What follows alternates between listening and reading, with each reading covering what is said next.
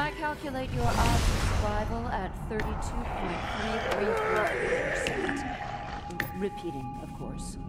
Not lethal by itself, but it should buy me some time.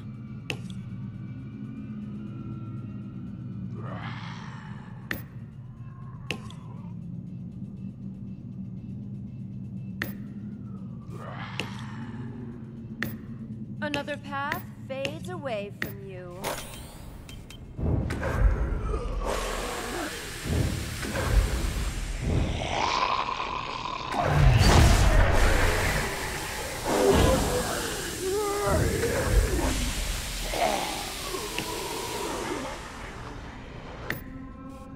I need to buy some time.